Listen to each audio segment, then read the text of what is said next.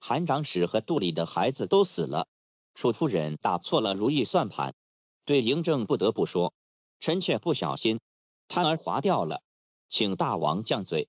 嬴政安慰楚夫人说：“罢了，滑胎也不是你想要的。”闵夫人对公孙丽说：“上回妹妹要调查韩长史之死，我想知道妹妹这段时间以来究竟调查的怎么样了。”公孙丽说：“他已经知道是谁害死了韩长史了。”闵夫人听了吓了一跳，问公孙丽是谁。